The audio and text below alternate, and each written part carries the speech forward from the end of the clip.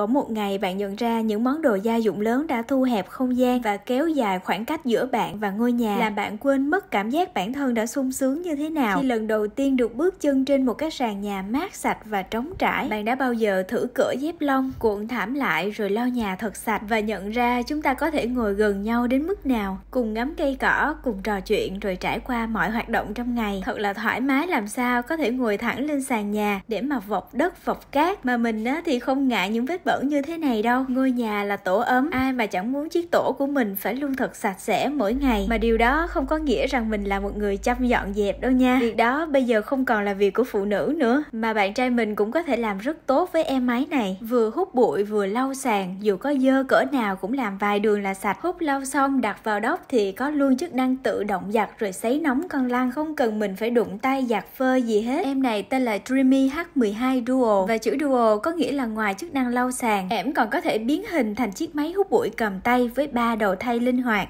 Nếu bạn là một người hướng nội giống Châu thì bạn sẽ hiểu ở nhà luôn là nơi quan trọng nhất, nơi mình được thả lỏng bản thân không chỉ là tinh thần mà còn là ở từng bước chân không ngại bẩn. Vậy thì mỗi ngày 10 phút lau sạch với Dreamy H12 Duo để có thể cảm nhận mỗi bước chân chạm sàn là chạm chân hạnh phúc.